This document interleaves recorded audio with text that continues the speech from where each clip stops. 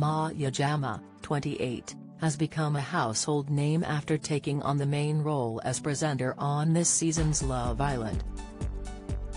Fans had gushed over the star's striking good looks as they realized that she is the spitting image of her mother, Sadie, 46. The TV favorite had landed her biggest gig yet as the host of Love Island.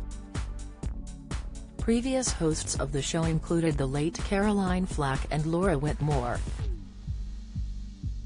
Supporting her all the way has been her look-alike mum, who is incredibly proud of her daughter's successes.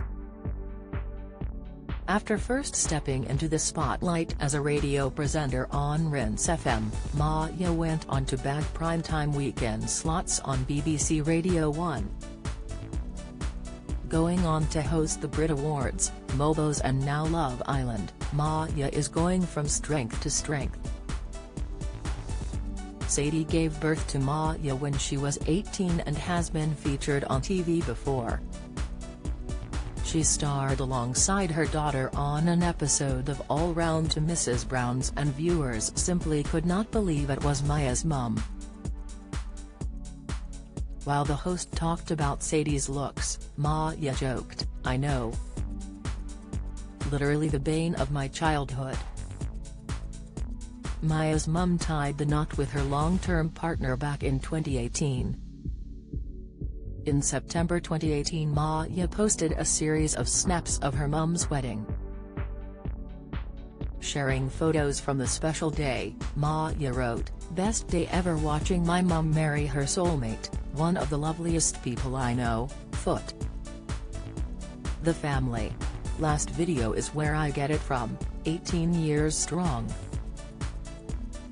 Maya often speaks about her mum and how they have a close relationship.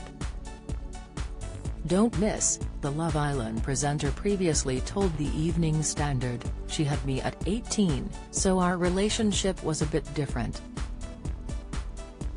I rebelled less because I was quite free. My mum's always been like, I want you to have your experiences, just tell me. I'm not going to judge you or shout at you. Not a lot is known about Maya's dad but in 2017 she made a documentary about growing up without a father, after she stopped seeing him when she was 12. Speaking about him being in and out of prison, Maya told The Guardian, it wasn't one long sentence, it was lots of sentences, sentence after sentence. Mostly, it was for violence, for pub brawls and fights. The usual thing was that he'd be drinking and get into a fight. Someone would get hurt, and he'd go to jail. I had plenty of people around me who did what a dad should do. I never felt unloved, my childhood was as good as it could have been.